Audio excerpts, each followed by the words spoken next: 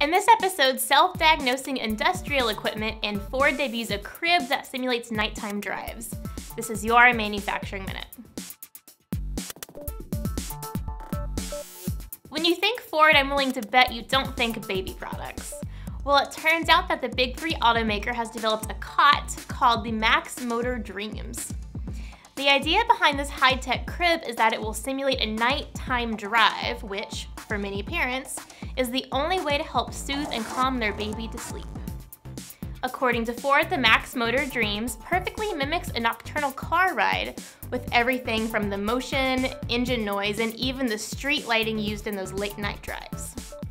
Ford's crib is controlled by a smartphone app that enables it to record and reproduce all the comforting movements and senses the child needs to fall asleep.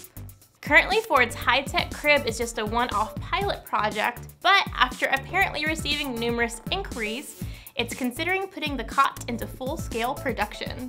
What do you think of Ford's latest venture? Tweet me your thoughts at Mnet News or leave your comments in the section below. Today's industrial machinery allows manufacturers to produce complex components more efficiently than ever before, but problems could still result in lost production or even in defective parts.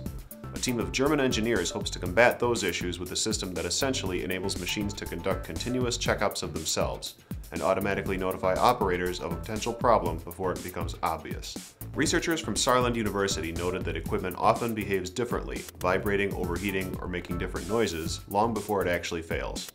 Their study outfitted machines with sensors that were able to interact with existing process sensors and with each other.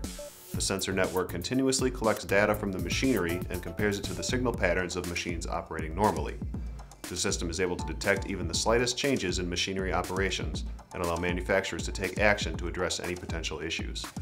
The team eventually hopes to tailor the system to meet individual companies' needs. They plan to demonstrate the technology at the Hannover Messe Industrial Showcase later this month and test the system in cooperation with German industrial giants Bosch, Rexroth, and Festo.